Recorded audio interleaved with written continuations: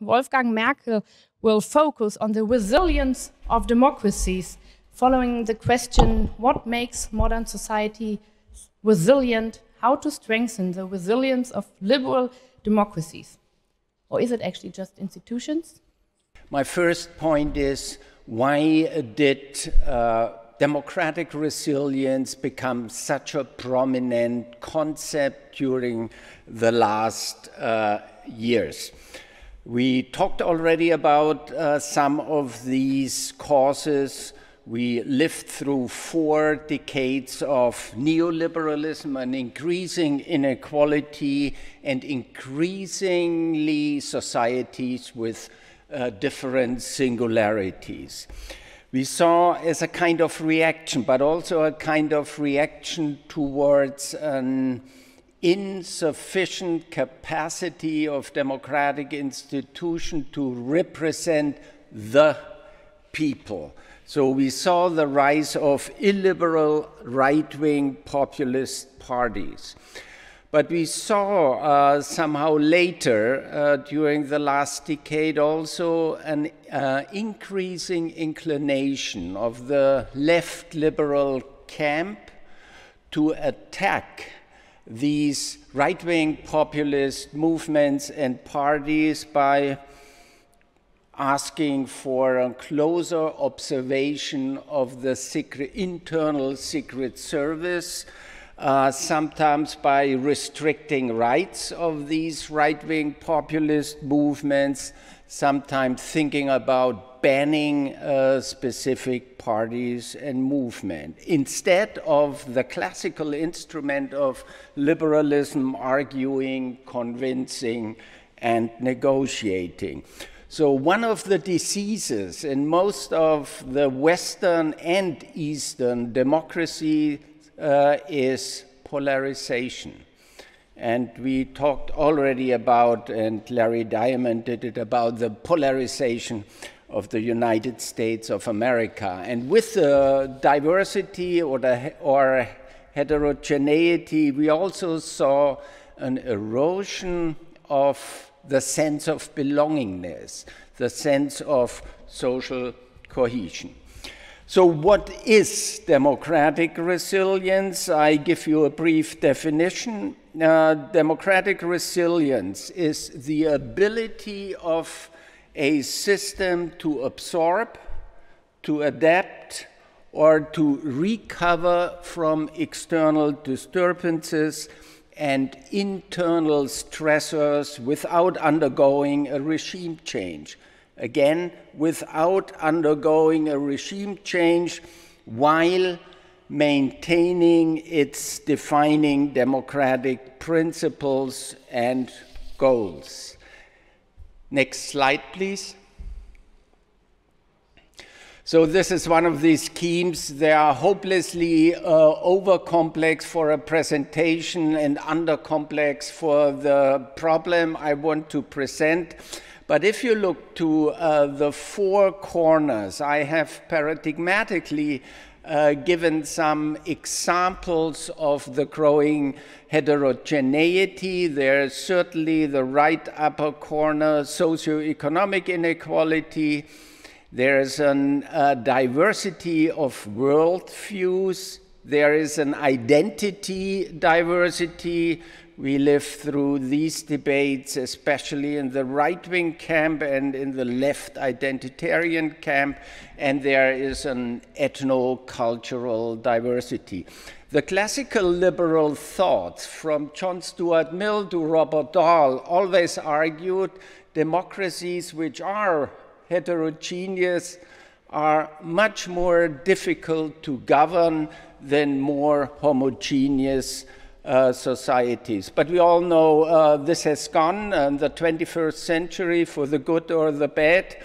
I leave it open, uh, becoming more and more heterogeneous, or in, it's a bit a different term, or diverse.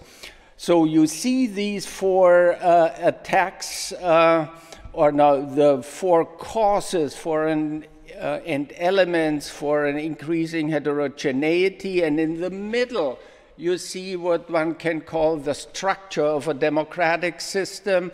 The most funda fundamental one is uh, constitutional powers and the balance of constitutional po powers. Then actors come into the play, the main actors, political parties, and of course, civil society and the specific political uh, culture is uh, imminent to each democracy, and then uh, what we sometimes call political community. I prefer this term for nation state uh, in normative and also in analytical terms. And then uh, to the right, uh, in the middle of the right uh, side, you see the function of resilience I have talked about.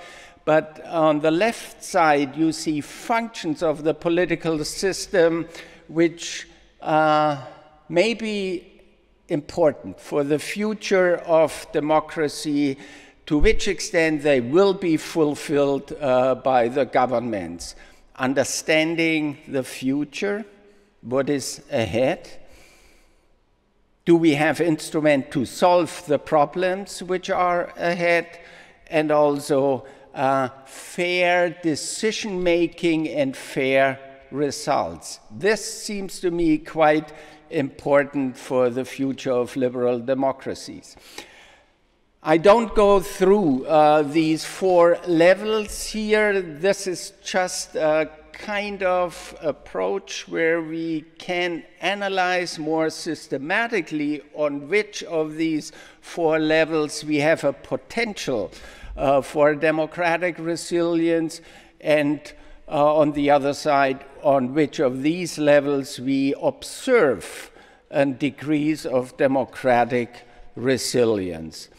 So one example, just to give you an example, if we talk about constitutional uh, powers, I do think we need a rebalancing of the executive and the legislative, which uh, moved quite a lot during the last decades to the executive, but we also need a rebalancing of input, throughput. Throughput is meant decision making and output legitimacy. So there is a trend uh, that output legitimacy can be bought at the costs of participation and input legitimacy. If we go to the second level, parties and party system, uh, we should uh, distinguish between anti-system party, hardcore right-wing parties, and what Juan Linz has once called semi-loyal parties. If you look to the right-wing populists, for example, in the Scandinavian countries, they are not uh, complete anti-system parties. They are examples of the semi-loyal party. We should isolate anti-system party, but we should try to win over the adherents uh, to semi-loyal party. One example for the civic culture and civil society, here it will not be uh, so important to foster civil society in general. It will be more relevant to which extent civil society can produce bridging social capital across ethnicities, across religions, across classes, uh, and so forth. So it's very much about bridging and not bonding social capital. Last point, uh, last level, political community. Strengthening the common sense of belongingness is easily said and uh, not so easily done.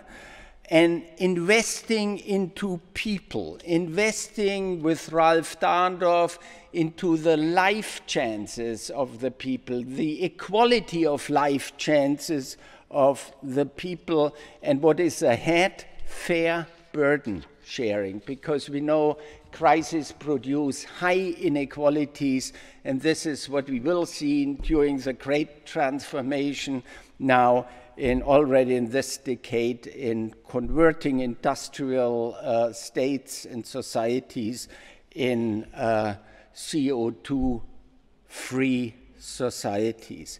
The last two points. The one is a common narrative. Do we need for our heterogeneous societies a common narrative? A thick narrative would be ethno nationalism, national identity. This is something which is outdated, which is exclusive, and which is undemocratic. So we cannot use it. And then there is a thin narrative, what Sternberger and later on Jürgen Habermas have called constitutional patriotism. This is too abstract, too intellectual in order to create the emotions Carolina has talked about uh, in the morning. So, a socio liberal narrative means we should have as a base certainly constitutional patriotism, we need social security in times of change, and we need more direct and deliberative participation. We need fair institutions. Only fair institutions can produce fair outcomes. And uh, to some extent, democratic institutions are failing to produce uh, fair outcomes, just distribution, and equal life chances. My conclusion there's a major attack uh, which comes from illiberal movements and parties from the outside, but there's also the danger that we, so to say, the left liberal camp, reacts illiberal to these kind of uh, external uh, attacks on the liberal democracy. Instead of what at least I am observing in our societies of moralistic exclusion.